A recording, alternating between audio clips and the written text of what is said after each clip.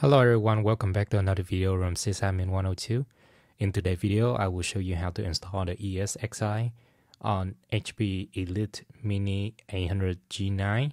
It's a small uh, little computer, but it uh, packed with so much power. If you watch my last video, I actually able to upgrade it to uh, 96 gigabyte of RAM and 8 terabyte of uh, NVMe. I also uh, able to add it in the second uh, 245 GBE NIC before we get started, I'm gonna go over some of the requirement. So uh, obviously you will need a USB uh, flash drive, 8 gigabyte or larger, and uh, also you will need the VMware ESXi uh, 7 or 8 ISO.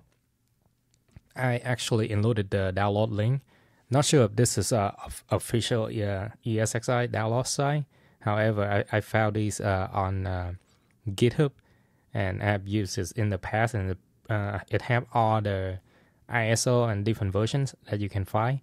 Mm, you will need to log in. Uh, the username and the password is uh, included in the step number one. And once you've done that, you're gonna download the uh, Balena Etcher on your uh, PC or Mac or Linux. It's a cross-platform, so it will work on uh, any operating system. And then you would plug in your USB drive and open up uh, Balena Etcher uh, actually, before I do that, I'm gonna show you um, where I download all the ISO uh, file for the ESXi.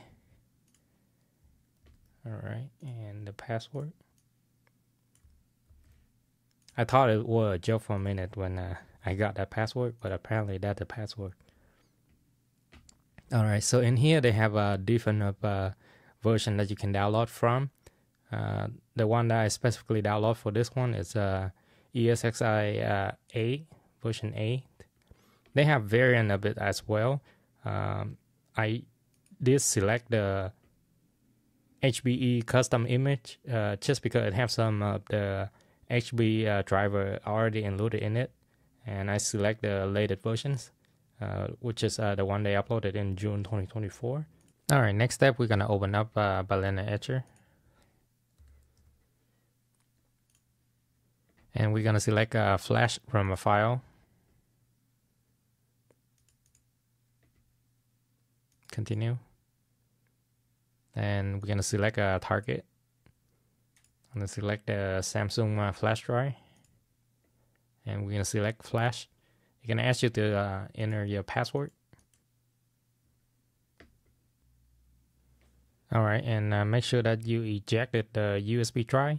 And make sure you plug in the USB on the HP G9 and then we're gonna get started uh, over on the G9. Alright, so when you power on the HP, you will select uh, F10. That's gonna take you to the BIOS setting. Alright, from here, you're gonna use the right arrow key, navigate to advanced. And then you will select uh, system options.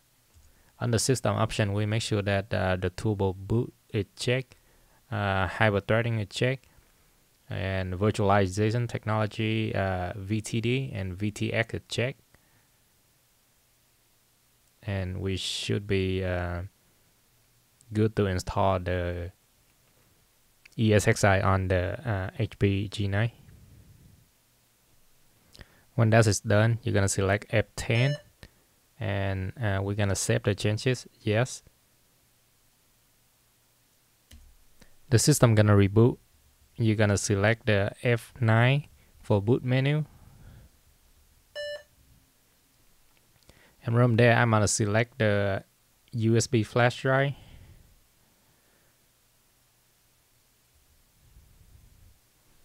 And we're gonna select shift and O. So this is a workaround for Intel uh, 12 and 13 gen CPU uh, if you continue, you're gonna get the fatal CPU mismatch on future. Actually, I'm gonna show you. Uh, I'm gonna let it boot by default, and uh, you probably gonna see this if you uh, let it boot by default. So this has happened when there is um, when you try to install ESXi on the Intel 12 and 13 gen. Uh, the 12 and 13 gen it come with the E core or P core, and uh, VMware is not uh, compatible with the, the future yet, P core and E core. Uh, in the server environment, they probably not gonna have P core and E core, uh, at least for now. Uh, that's the reason why you have uh, this error, and I'm gonna show you the workaround and how you can able to boot up and install ESXi. Alright, after the system reboot, we're going to select uh, the boot menu one more time by pressing F9. Alright, and I can select the boot from the Samsung flash drive one more time. And we're going to select Shift and O. And then you would uh, append in the command line uh, space and then CPU uniformity hard check panic equal false so this workaround with uh, will reference from the virten.net so all credit to the original uh, author. And when we done that we're gonna press uh, enter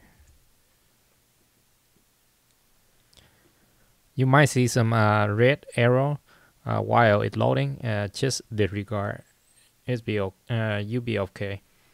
And then we select uh, enter to continue. And F11 to accept. And uh, I'm gonna select the uh, Samsung flash drive fit to store the ESXi so it not um, since this is a home lab that's the reason why I install it on the USB drive. For the production environment, I wouldn't uh, do so. Uh, problem with the USB drive is that they do die over time. Um, so for home lab, it's easy just to create a new one. But for the production environment, I would not recommend it to do so. And you're gonna select uh, install.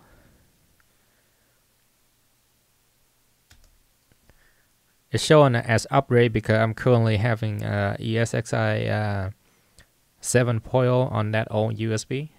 So we can select enter to install the new one. And for uh, datastore, you can select a datastore, but uh, for now I'm gonna keep it known. Um, the reason why I want to use uh, the two 4 terabyte for the TrueNAS, and I'm gonna use a USB to NVMe adapter to store all the VM on that one. Um, there is a M2 slot for the wireless car. Uh, I'm currently waiting for an order uh, from China. It's gonna be a W uh, lane adapter M2 converter to a NVMe. Possibly I'm gonna able to add a third uh, NVMe and if that's the case I should be able to create a storage from there. But for now I'm using the external USB to NVMe adapter to store all my VM so I must select enter to continue. And you have the option to create the root password. Alright, and when we're gonna press enter to continue. And we're gonna select F11 to continue. We're gonna select uh, enter to reboot. And we're gonna disconnect the USB drive as well. Alright, when you select Shift and O, and space and we're gonna append the boot fix. So gonna be a CBU uniform MIDI. Hard check. Panic equal false. And enter we're gonna do the permanent fix after we uh, log in an uh, ESXi. Alright, we're gonna select uh, F2 and obviously you gotta enter your uh, password. And we're gonna change our host name. So when you go to uh,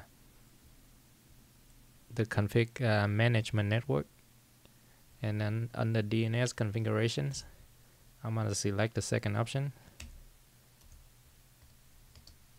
and then I'm gonna change the local host to um, HP dash G9 dash ESXi and select enter.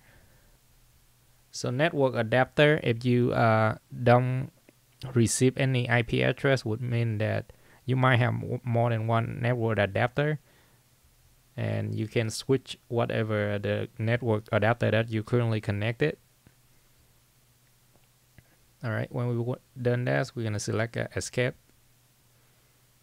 And we're gonna select Y for yes to restart the network uh, manager.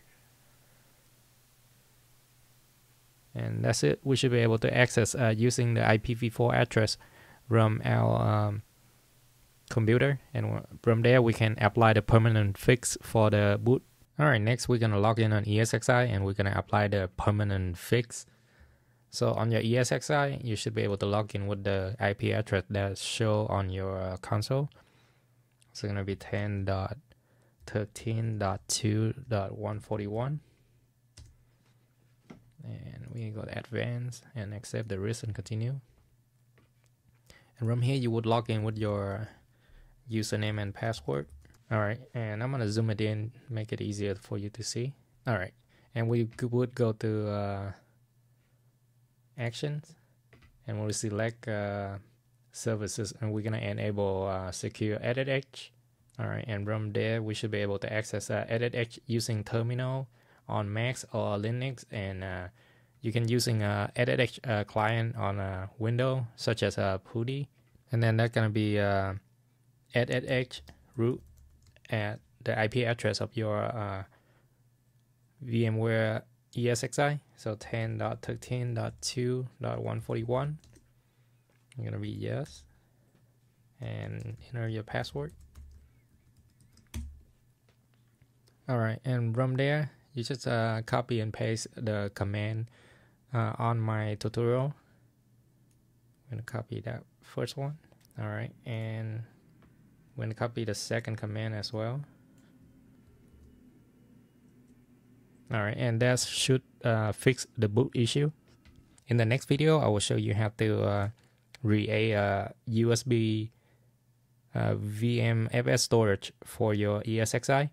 Uh, so that's why if you're on a budget or just a home lab, not the um, actual production environment, you can uh, store the VM on the NVMe, NVMe or uh, you know uh, SATA SSD uh, using the USB to SATA or USB to NVMe adapter.